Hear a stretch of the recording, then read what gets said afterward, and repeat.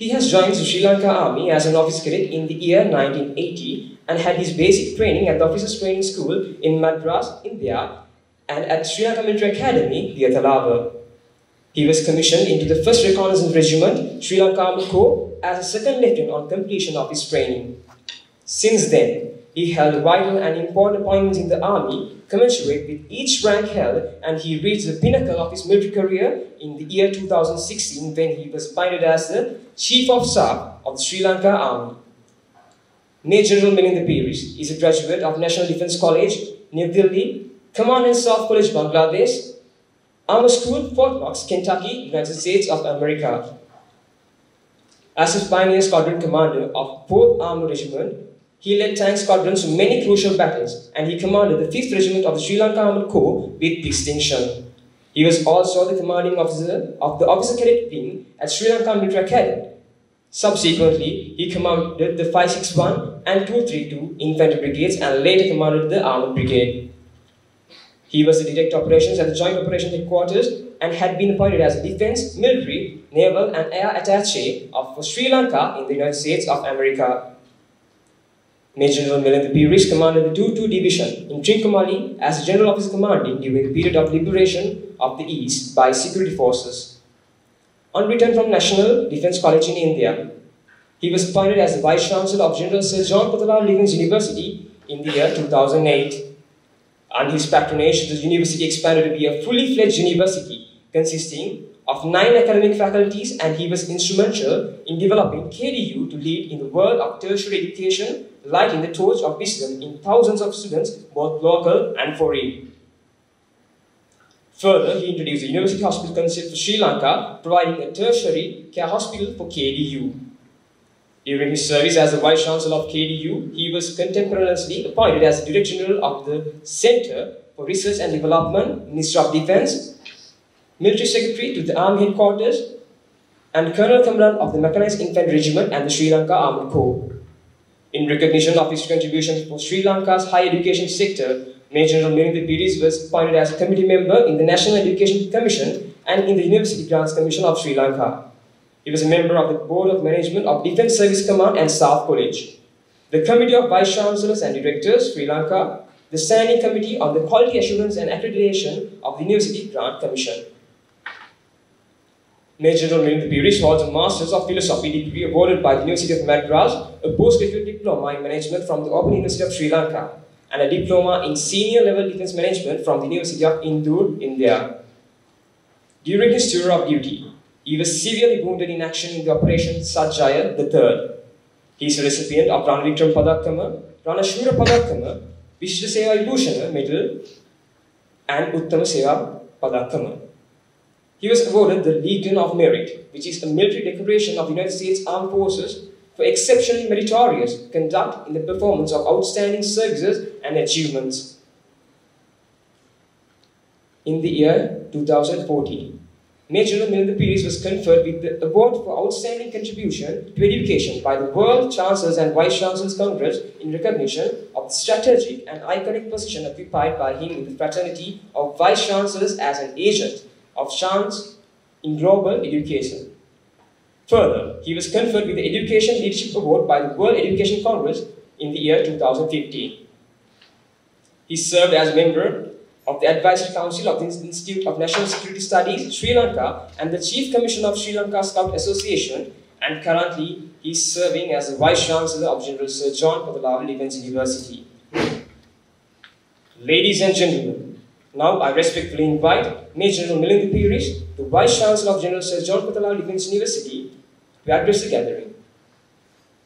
I would respectfully invite Colonel Pradeep Ratnayaka, the Dean, Faculty of Defence and Strategic Study, to accompany Her Excellency Lalita Kapoor, High Commissioner of the Australian High Commission Sri Lanka, Major General Lal Gunasekara, Rector, Metropolitan Campus, Major General Robin Jayasuriya, Rector, Southern Campus, Major General Udaya Herath, Brigadier Chintaka Vikramsinghe, Deputy Vice Chancellor, Defense and Administration, Professor Sanat Dhammika, Deputy Vice Chancellor, Academics, Mr. Trivan Anakkarage, Policy, Research and Information Officer, High Commission of Australia, Deans of Faculties and Directors of Centres.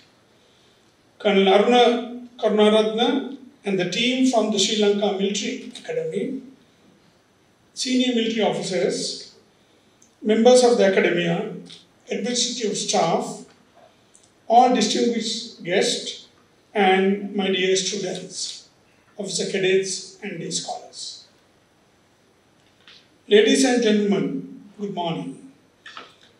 This third consecutive Student Research Forum, organized by the students of Intake 39 of the General Sir John Kotelawala Defence University, Faculty of Defence and Strategic Studies, is taking place at a time Sri Lanka is desperately looking for a better tomorrow. I think the theme of this year's forum, Strategic Futures of an Emerging World Order, itself is a strategically designed theme to awaken the curiosity of the IR students community towards the concept of the emerging world order, which suggests that the conventionally and traditionally accepted world order is dying down and novel and modern world order is emerging. One that awaits the creative and collective contribution of today's youth to formulate a strategic landscape to face the new realities facing them in the future. In other words, to prepare the world for a paradigm shift.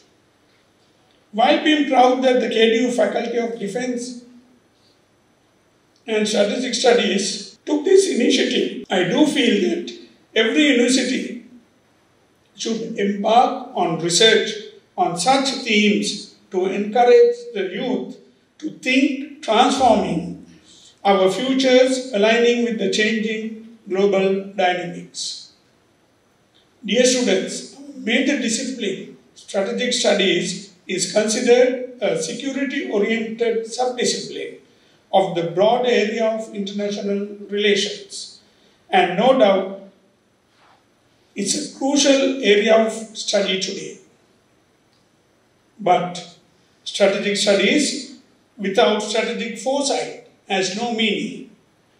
And it is through true engagements in research and deeper discussion that individuals, institutions, and countries would discover such strategic foresight to place themselves in proper perspectives.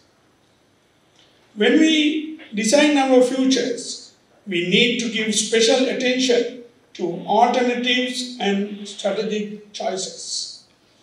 In that respect, the present global context, with all its disruptions, provides you with very useful subject matter to study and understand the complexities in a global security environment emerging in the near future. As you are aware, everybody could be very vociferous about the thing, things can go wrong in the future.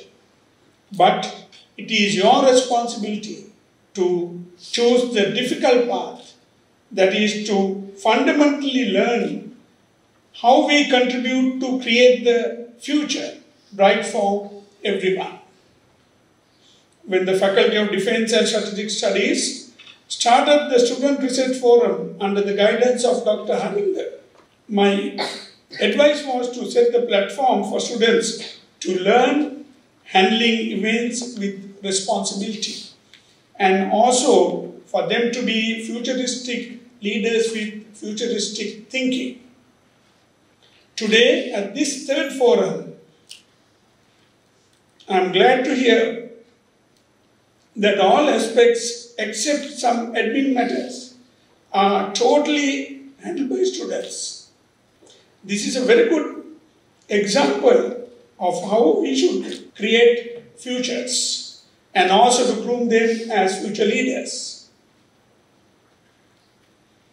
We need to empower the present, present to nurture the future and let it freely flourish on ground.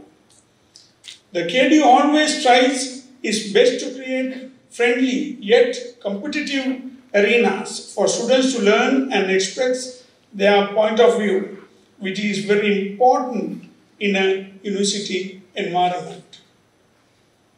By organizing events such as this, students are exposed to event planning and building important networks that would lead to productive collaborations towards the better future.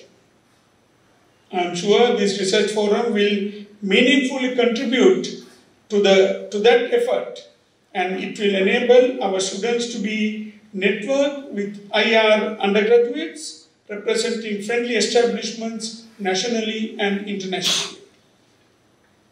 Dear students, if we pay our attention to the current context about the world order, we can realize that the uncertainty is prevailing everywhere. Not only in Sri Lanka, everywhere in the world. Modern day researchers have devised elaborate acronyms such as VUCA and TUNA. VUCA means volatility, uncertainty, complexity, and ambiguity. And TUNA denotes turbulent, uncertain, novel, and ambiguous. So one can say that the present day world is more towards disorder than towards order. In this backdrop, getting aware about the strategic future will provide leaders in all sectors insights into forces of change that are reshaping the global environment rapidly. How can we formulate the policy and strategy in the face of uncertainty? Is the fundamental question that leaders must ask when they prepare their straits for future and in the midst of the catastrophes such as global pandemics. Answering this question has never been felt more urgent than today. Even before the COVID 19 crisis, rapid technological change, growing economic interdependence, and increasing political instability had made the future increasingly foggy. Whether we like it or not, this is the reality in which we are living today. And we need to be sharp enough to select appropriate strategic processes. We must train ourselves to quickly capture our environment through continuous scanning. And you must be very alert on the world order and what's going on. It is only then when we will find good analytical lenses to view trends in the international security. And when I say security, it is a very broad concept that includes energy resources, information, population, technology, governance, environment, education, etc. KDU Bachelor's Degree Program in Strategic Studies and International Relations is an attempt to produce intellectually potent and analytically sound individuals for the country and international community to contribute for formulating policies and strategies for the future. And we are glad to mention that the program has started enrolling its fifth batch this year. And the demand is growing, and uh, this time also there's a huge number of applications have been received. It is the only degree program of this kind available in Sri Lanka. So you are very glad to be here as students of KDU to follow the one and only degree program in Sri Lanka. Let me, of that field, let me be clear about your expected future commitment. I want every student and staff member to genuinely contribute to the progress of this faculty and the motherland. The knowledge production, which is our mandate, should reach the beast level. The intellectual environment in a university is dominated by young minds who owns the future. And youngsters will not hesitate to change the existing ideas. Dear students, strategic foresight and practice for which the militaries have spent years researching offers a very forward to you. Its aim is not to predict the future, but rather to make it possible to imagine multiple futures in creative ways that heighten our ability to sense, shape, and adapt to what happens in the years ahead.